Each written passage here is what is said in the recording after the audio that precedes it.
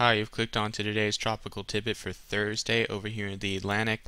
We have a new tropical depression that nobody cares about because it's moving out and following 98L out in the eastern Atlantic. Nobody cares right now. Our big focus is Hurricane Irene over here in the northwestern Bahamas, absolutely slamming the northwestern Bahamas now. Nassau is right in this island here. Don't know the name of the island, but the eye moved right up east of there. Looks like they may have avoided the main part of the eye wall, but there was an unofficial report mentioned by the NHC of a 100 mile per hour wind gust in Nassau. So they've been getting battered here. The eye wall is about to move over Abaco Island, and these folks are getting absolutely pummeled. And I haven't heard a whole lot about the islands down here, news reports out of there. Of course, I don't watch the TV a whole lot, but damages in here are probably going to be extensive for the folks that do live there.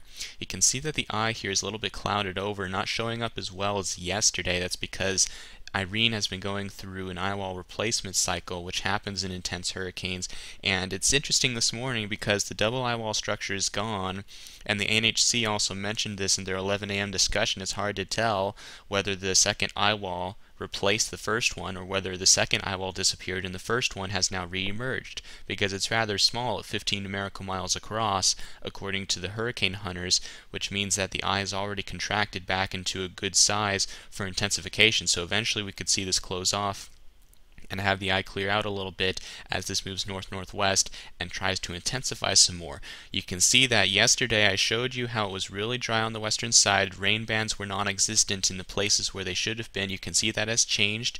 We have rain bands actually scraping Miami here and West Palm Beach in eastern Florida and we have more rain on the western side of the system and you can see the upper level outflow. See the cirrus clouds out here. Just beautiful outflow coming out on the western side of the system. So this storm has really filled out and has become a lot more symmetrical.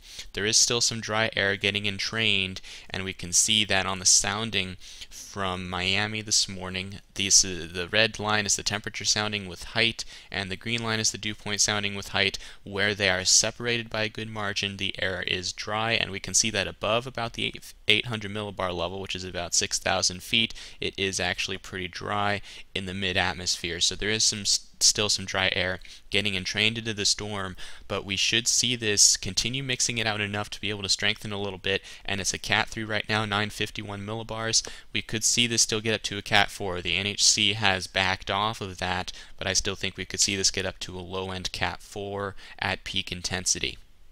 Here's the water vapor imagery showing Irene. Again, extensive outflow all the way out around the system here. A little bit limited in the southwest quad, but we can see what's going on here. We have an upper low over eastern Gulf of Mexico, which is backing away here and helping the outflow to expand on the eastern side. This is always a pattern when, a when an upper low is backing away from a tropical system. You watch for them to start expanding that outflow and helps them strengthen here.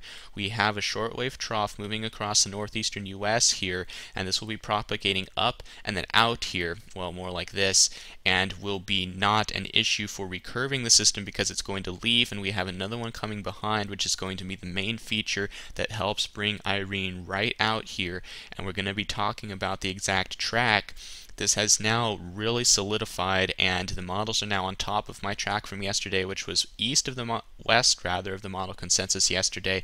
The models and the NHC are now on top of what I had which is still a landfall in eastern North Carolina here over the Outer Banks here northeast of Wilmington and then up across the eastern coastline of New Jersey and into western Long Island here. This is the kind of track that could affect everybody along the eastern seaboard here. All the people in this region would get a great fistful of this storm if this were to happen. Countless dozens of millions of people live in this area, which means even a weakening storm coming into New England and the eastern seaboard is a very bad situation for these folks here.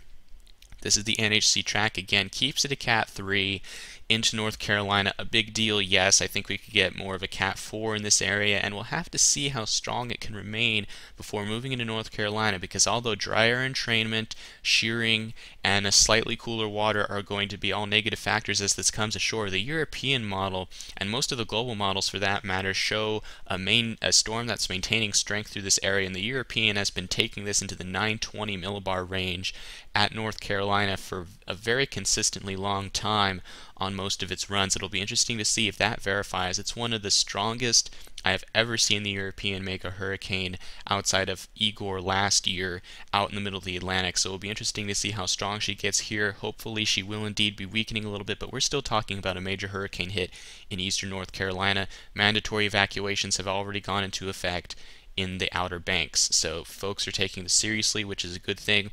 And look at what the NHC has here. Category 2 over extreme southeast Maryland. This is something we do not see every day, folks. This is a bad situation. We're talking about Category 2 impacts from Maryland all the way up to Atlantic City, New York City, and tropical storm force winds extending all the way out into Philadelphia, D.C., and Boston based on the track here. And we're talking about a lot of rainfall in here. The ground has been saturated in recent weeks from all the rainfall New England has had. This kind of a track right up the coast is something we do not see every day. The last big hurricane to do this was Bob in 1991, and the storms that were like him, Gloria in 85, Floyd in 99 was a tropical storm up here, but all these storms were over a billion dollars in damage at least in these in this area. So this is nothing to sneeze at, and folks in here should be preparing, making preparations for this storm. We are talking about three days away. Slight shifts may occur, but the overall track here is locked in. We've talked about the reasoning for this, and we're going to go over it one more time here and why this should come up west, which is why yesterday my track was still west of the model consensus. Here's Irene down here, 24 hours on the GFS, 500 millibar map here.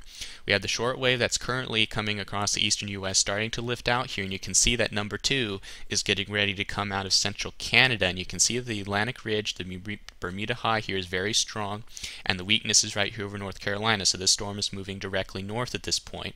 48 hours, you can see that the next short wave in line is coming. Heights are high over here, and this is moving up towards North Carolina. We go out to 72 hours, and the shortwave is passing by pretty far to the north. Notice that, that the jet stream is over Canada here, not over New England. And you can see that, look at how strong the jet stream is right over southeast Canada here. This is one heck of a jet, and the way you get a jet stream that strong is to have resistance to the trough. You have the trough here, you have to have resistance from the south, and the way you get resistance is to have a lot of ridging over here. And you can see how strong the ridge is, lots of high heights, east of New England here, which means that the storm is going to tend to move north and not cut off to the east like this because of all this ridging sitting off to the east here.